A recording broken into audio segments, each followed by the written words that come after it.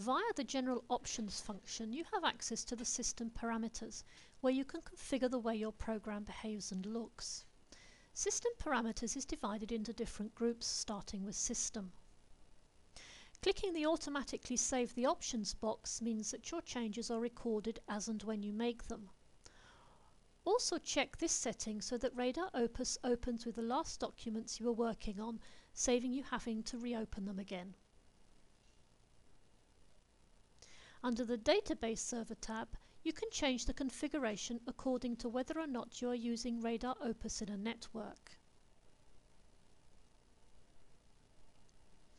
We advise you to keep the database server running once the program is closed, as this means the program will open much more quickly. Under Interface, here is where you can change the language of the program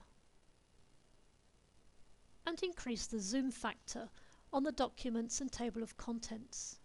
Note that in order for these changes to take effect, you must restart Radar Opus.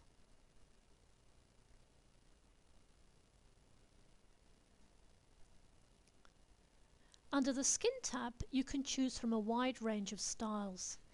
In computer terms, a skin is the graphical appearance of the program on screen.